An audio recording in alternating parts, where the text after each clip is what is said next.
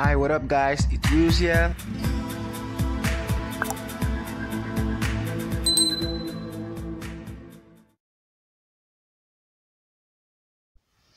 HTML is an acronym for Hypertext Markup Language.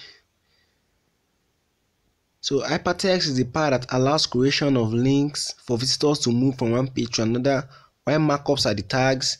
So there are two kinds of markups.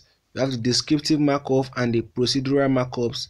So the descriptive markup is used to describe the headings and paragraph while the other part is used to describe extra information.